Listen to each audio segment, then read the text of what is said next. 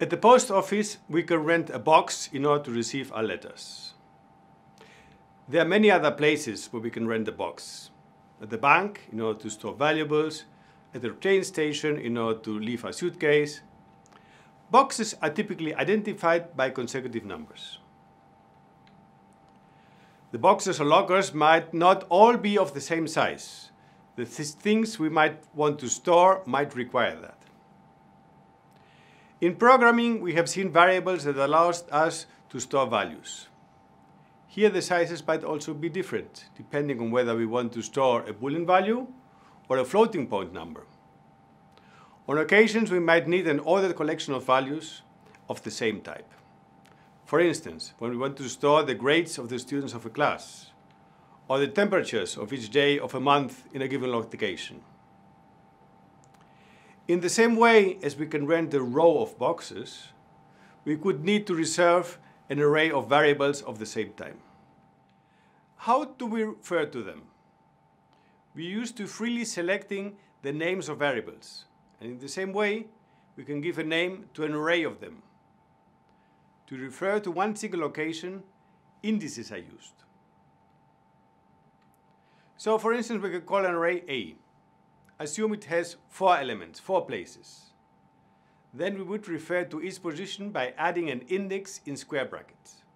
In this example, we would have a of 0, a of 1, a of 2, and so on. Note that we start with index 0 and increment one by one. Here we see examples of arrays. The arrays can contain different types of values, but in each array, the type is the same for all values. The array could be of any length, but once defined the length at the declaration, its length remains fixed. Here we have a summary of arrays. Elements in an array can be accessed through indices. We should not confuse the value of an element with, with its index. In this example, the value of a of 2 is 1.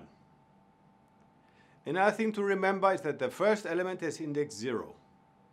So indices run from 0 to the length minus 1. Here is how we declare an array. We write the type of the element, then open and close square brackets, and then the name we have chosen for our array.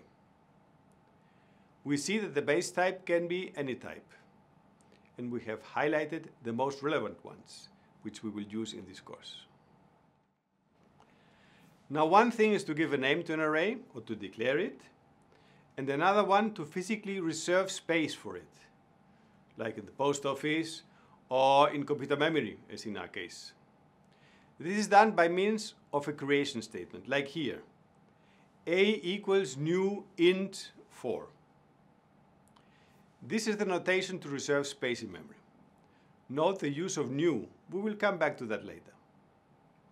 We can do the two things, declaration and creation in one line, as we see here in the lower part. To access an element of the array, we use the square brackets as we see here. Remember that if we have declared and created an array of integers of size 4, its first element is a of 0, and the last one is a of 3. A of 4 would not be defined. It would be an arrow. So we have given a name and we have reserved space for an array. Now we want to store values in the different positions. How do we store values? We use the assignment statement as we have used for variables before. With the assignment statement, we can assign a value for the first time or reassign multiple times. An array name with an index can be used as we have used variable identifiers before, both to assign and to get the stored value. One thing we can do also is declare, create, and initialize an array all at once, as we see here the last line, using the curly brackets. Note that in this case, we don't need to write the keyword new. If strings are ordered sequence of characters, A question we might ask is whether a string and an array of char are the same thing. They are not, although it is straightforward to convert one from the other. Another question is whether an element of an array might also be an array. Here the answer is yes. In this way we get what we can call bidimensional arrays. But even multidimensional arrays are also possible. This gives us interesting ways to work with arrays, as we will see later in the exercises.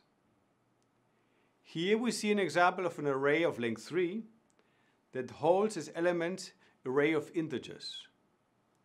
If all these integers arrays are of the same length, which they not need to be, we might interpret, it, interpret these as matrices, opening the door to interesting computations.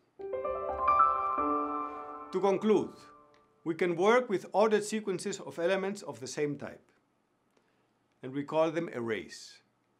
Things to remember. The length is fixed when we declare an array. Second, all the elements of an array have to be of the same type. And the type of the elements might be arrays as well.